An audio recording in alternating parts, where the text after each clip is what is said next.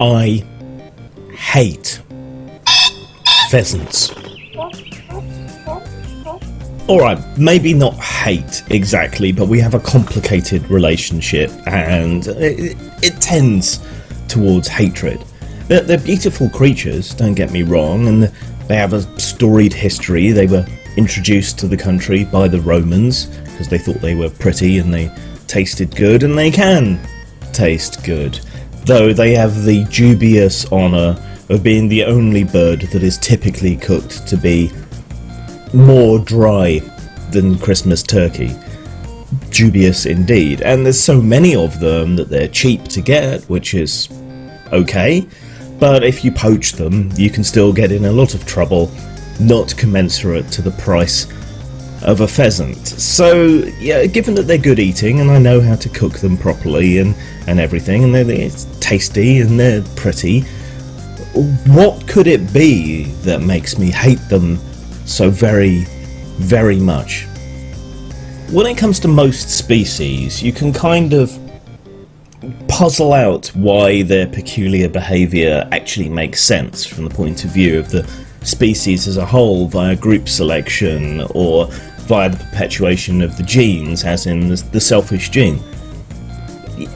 People ask, you know, why do people, why do animals do what they do to survive in what they assume to be an ultimately pointless universe uh, without a god, because they have their biases in that way. And most of the time, you can find a reason. The most basic one being the creatures that don't survive don't survive. Uh, you know, natural selection is, is perhaps the most obvious thing there. But when it comes to pheasants, pheasants are nihilists. Pheasants don't don't care. Pheasants don't seem to want to live. I mean, the whole reason they're in this country in the first place is for people to hunt them. That that is that is their sole and only purpose for being here. While some may escape and, and live wild, the majority of them are raised in pens and then released into uh, an unforgiving wilderness uh, where they live a few terrifying months before they're shot by farmers working on it. Well, farmers and hunters working on an industrial scale with a bunch of beaters to knock them out of hedges and so on, and then they get blasted by fusillades of, sh- of shotgun fire. Yeah, th- that's a pretty bleak existence for an animal. Though you know, being delicious and being apparently fun to hunt. You know, these are good from a genetic point of view, but on an individual level, pheasants are nihilists. There is no other creature than the pheasant to which the epithet bird-brained can be best applied. These, these are not intelligent creatures by any stretch of the imagination. They are perhaps the most stupid bird in existence, judging from their behaviour. It may just be that they grow up sheltered and then get thrown out into the wilderness to survive, which they are singularly bad at. So there's an awful lot of wastage of pheasants as a hunting animal on roads to predators, to cats, to dogs, to birds of prey, whatever else. It's it's like releasing a, a, a, a school trip, a bus worth of infants into a sausage factory and expecting everything to go well, unsupervised. That, that's kind of what it what it's like to release these creatures into the wild, but they do it anyway, and they're dumb. So how can they have figured out that their existence is pointless and meaningless and that they live only to die? Their existence is entirely for the pleasure of a handful of toffs to shoot out of the air, and then they don't eat most of them. They go to local shops or they get wasted. Frankly, when a brace, that's two pheasants, costs you only one to three pounds, it just kind of goes to show the, the value that's attached to these birds, you know? And it's not much, because you have to pluck them and gut them yourself. Is something I know how to do. Gruesome, but they are tasty and worth it. But, uh, but despite their stupidity, somehow they seem to understand that their existence is pointless and to seek to end themselves constantly. It's like they have an existential crisis on a genetic level.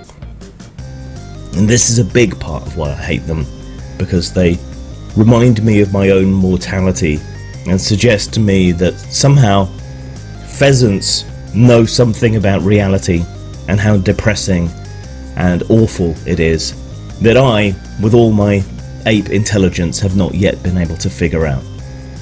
So, from spring through to autumn, shooting season, the, the local countryside is flooded with suicidal birds having an existential crisis uh, about their existence and the, and the meaning of being and so on.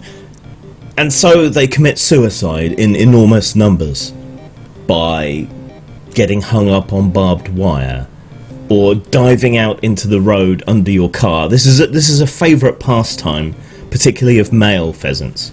You'll be driving along quite happily, keeping an eye on the road, being careful, and then all of a sudden, an idiotic male pheasant will hurl itself out of the hedgerows right in front of your car.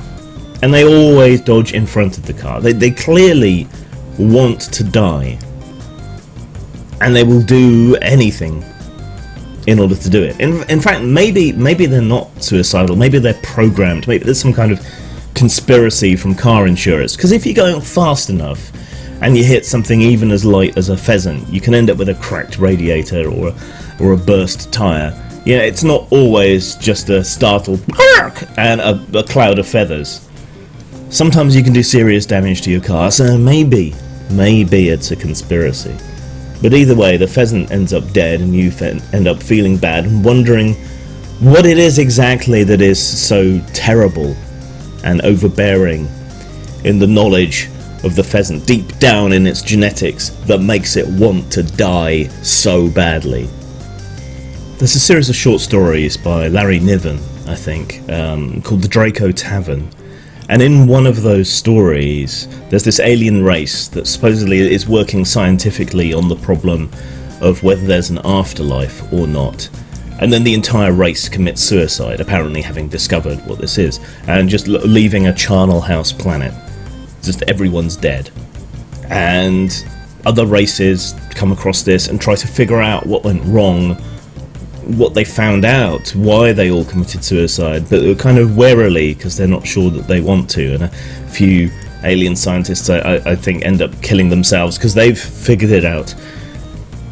And it, it's an unsettling feeling, and it's a theme that has turned up in other forms of science fiction. I believe in Planetary there are scientists who were strapping themselves to atomic bombs because somehow that meant you didn't go to, to either heaven or hell when you died. Yeah, it's a, it's a recurring theme that finding out the truth about an afterlife, if there is one, will somehow turn out to be horrifying. And pheasants, in their eagerness to kill themselves, give me that same unsettling feeling that maybe the afterlife is worse the longer you live. Something like that. It's a very kind of Lovecraftian level of existential angst that the suicidal ideation of pheasants gives me. And it's also pointless. It's like, like fox hunting, which is repugnant and cruel.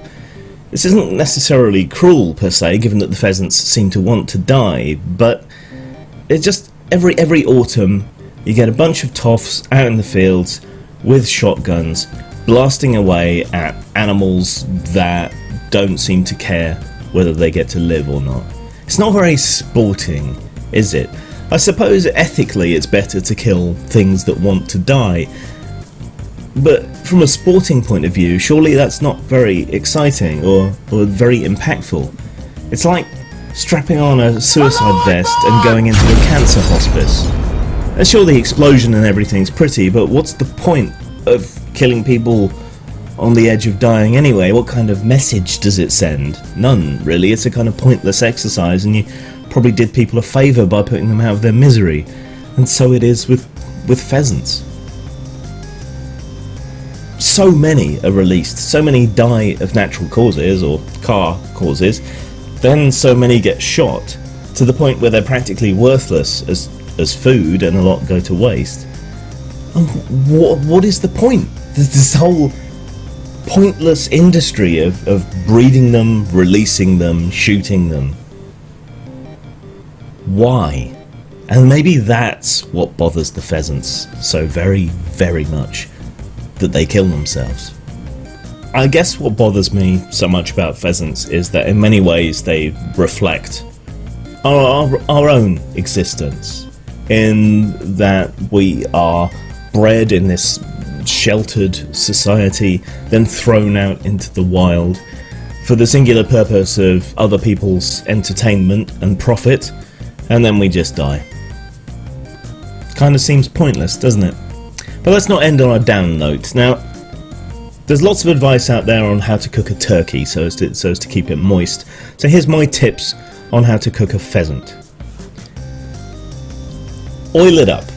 You can put butter under the skin or, or whatever it is you want to do. I just find rubbing it down with olive oil helps. That way you get nice crispy skin and it helps keep the, the flesh within moist. My second major tip is that about halfway through the cooking process, turn the bird upside down. That way all the fat and juices will drain down into the breast, which is where most of the meat is, and that will keep it very moist and put more flavour into it. If you do those things, oil up your bird and cook it halfway through upside down, you'll end up with a much more edible and tastier pheasant. Zang.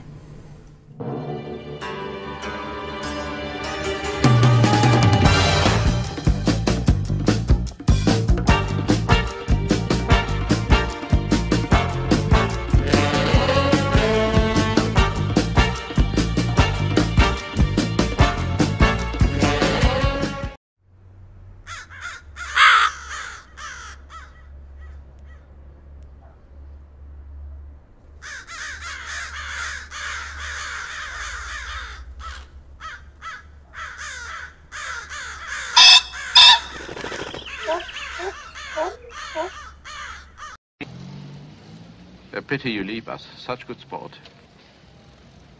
Unless you're a pheasant.